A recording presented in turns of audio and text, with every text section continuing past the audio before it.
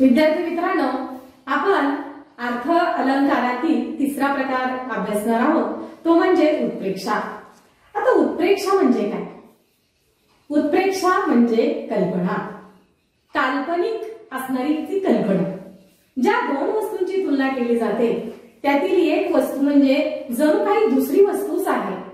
अशी कल्पना करणे याला उत्प्रेक्षा असं म्हणतात. वाटते सानुली मंद झुळू कमी व्हावे. वाटते सानुली मंद झुळू कमी व्हावे या ओळीमध्ये कवीने स्वतः मंद झुळूक होण्याची कल्पना केलेली आहे.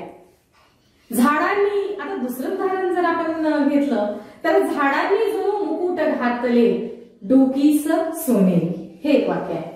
आता या ओळीमध्ये झाडांनी डोक्यात सोनेरी मुकुट घातलेला आहे अशी कल्पना कवीने केलेली आहे.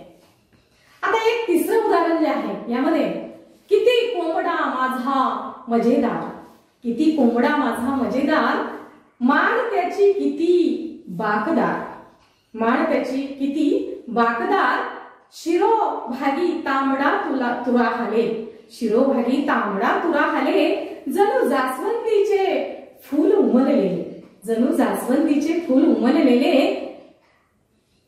अर्थ पायी पांढरीशी विजार. अर्थबाई पांढरीशी विजार. गमे विहंगातील बडा फौजदार. गमे विहंगातील बडा फौजदार.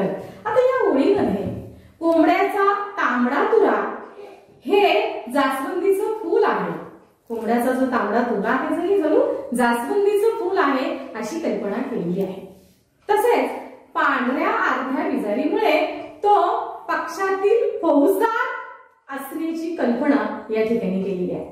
म्हणजे पहिल्या वाक्यातील उपमेय मी दुसऱ्या वाक्यातील उपमान झुळू दुसऱ्या वाक्यामध्ये उपमेय आहे झाड दुसऱ्या वाक्यातील उपमान आहे मुकुट.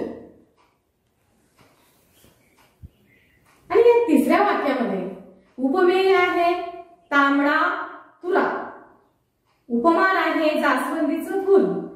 उपमेय आहे पांढरी विजार आणि उपमान आहे फौजदार. म्हणजे